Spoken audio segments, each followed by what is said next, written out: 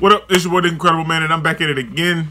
And this is another anime that nobody recommended, man. I, I watched the anime yesterday and I was in love with it from episode one, man. So I had to do the opening with you guys, man. And I'll link my discussion slash review in this video as well. So you guys can check that out on my other channel. I think it was pretty good, you know, just toot my own horn. But this is Dr. Stone opening, man. Let's get it. Take it, don't wait for someone to break it Take control, then don't just take it, hey, You can make it happen, you just gotta take some action Take the ship and be the captain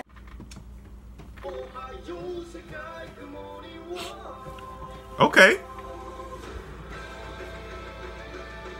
And see, every I love everything about this, man. I said that in my review. Everything was perfect to me. I enjoyed everything.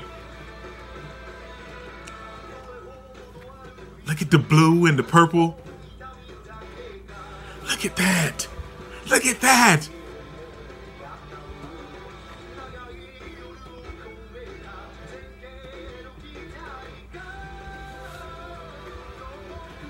This is this this may be my new favorite opening.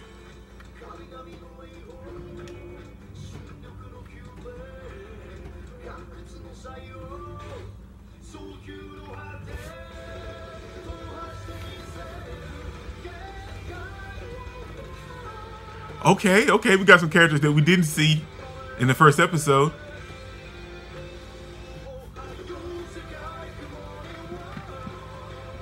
Oh, this looks good, man.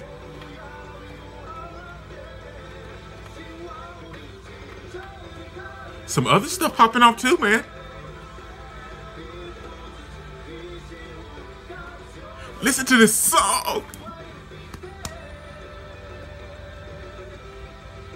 It makes me feel so good.